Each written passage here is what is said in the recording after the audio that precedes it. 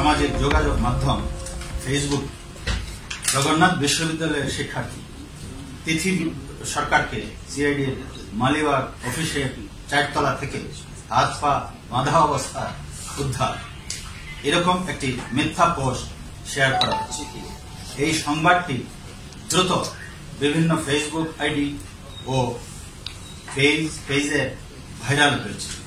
এই ঘটনা সোশ্যাল মিডিয়ায় ব্যাপক আলোড়ন সৃষ্টি করে প্রকৃতপক্ষে সিআইডি এর অভ্যন্তরে এ ধরনের কোনো ঘটনা ঘটেনি।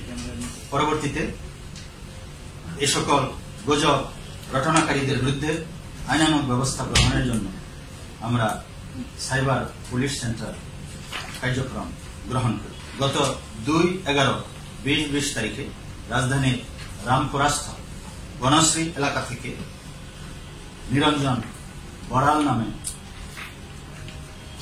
এক ব্যক্তিকে গ্রেফতার করা হয় এবং তার বিরুদ্ধে অজ্ঞাতনামা আরও কয়েকজন সহ ডিএমপির পল্টন থানায় ডিজিটাল নিরাপত্তা আইনে একটি মামলা রুজু করা হয়। প্রাণী বিজ্ঞান বিভাগের দুই হাজার সতেরো শিক্ষাবর্ষের ছাত্রী তিথি সরকার তার ফেসবুক আইডি ব্যবহার করে বিভিন্ন সময়ে ধর্মীয় উস্কানিমূলক বিভিন্ন পোস্ট কমেন্টস ও তথ্য শেয়ার করেন যার ফলশ্রুতিতে জগন্নাথ বিশ্ববিদ্যালয়ের সাধারণ ছাত্রছাত্রীবৃন্দ তার বিরুদ্ধে আন্দোলন ও সমাবেশ করে।